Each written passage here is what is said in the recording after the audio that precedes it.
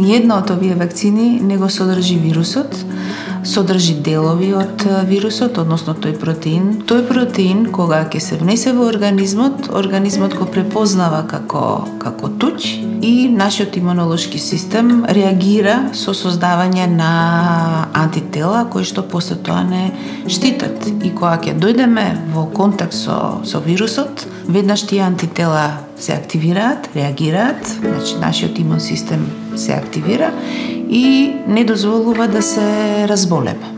Така да тоа е принципот на на делување на на овие вакцини.